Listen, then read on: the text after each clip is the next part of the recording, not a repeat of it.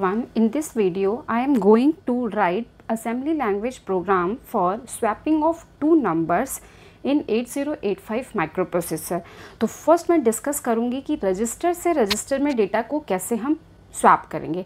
After that हम discuss करेंगे कि एक लोकेशन से दूसरी लोकेशन के नंबर्स को हम कैसे स्वैप करेंगे। तो फ़र्स्ट हम स्टार्ट करते हैं रजिस्टर्स के बीच की स्वैपिंग सपोज़ हमारे पास एक्यूमुलेटर ए में हम लेते हैं 25 एंड रजिस्टर बी में हम लेते हैं 67 एच ठीक है? तो आफ्टर स्वैपिंग हमारी वैल्यू क्या होनी चाहिए? ए के पास होना चाहिए 67 एच एंड रजिस्टर बी के पास होना चाहिए 25 ठीक?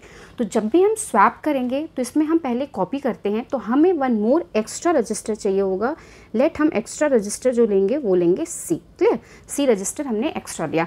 फ़र्स्ट हमने क्या किया? हमने लिखा M V I A comma twenty five ठीक?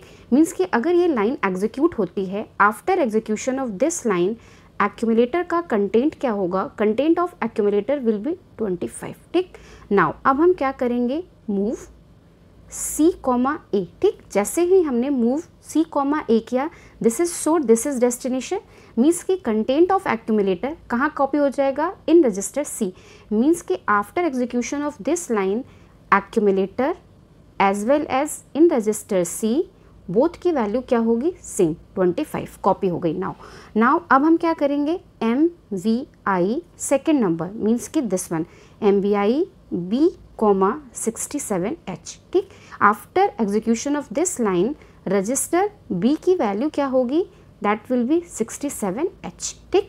नाउ हमारा मेन एम क्या था? 67 को एक्यूमुलेटर में डालना और नाउ एक्यूमुलेटर का डेटा हमने ऑलरेडी सी में सेव कर दिया है तो we can save 67 in register A तो हम क्या लिखेंगे? Move A comma B A is the destination B is the source तो now what is the content of B content of B is equal and content with the content of A और दोनों की value क्या होगी? 67 seven H ठीक नाव B का content तो A में आ गया कॉपी हो गया.